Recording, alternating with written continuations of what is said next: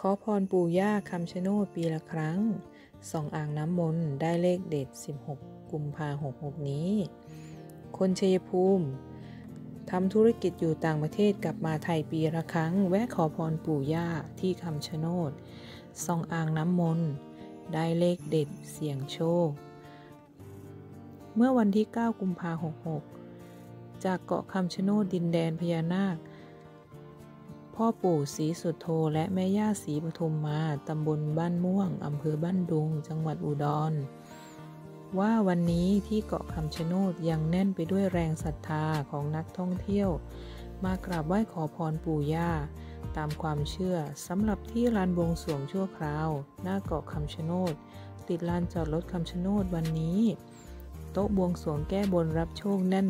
เต็มพื้นที่ โต๊ะที่น่าสนใจคือโต๊ะของเจ้าชัยภูมิที่มาจากต่างประเทศ เดินทางมา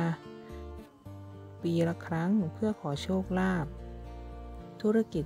การค้า จากพ่อปู่แม่ย่า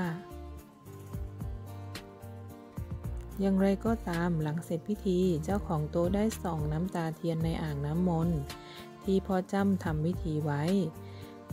เป็นเลขที่สอดคล้องกับเลขทูบซึ่งก็ได้นำไปเสี่ยงโชคตามความเชื่อ ส่วนที่แผงจำหน่ายลอตเตอรี่หน้าคำชะโนดแม่ค้าบอกว่าขายดีจนเกลี้ยงแผงแล้ว ซึ่งขึ้นอยู่กับความเชื่อของแต่ละคนด้วย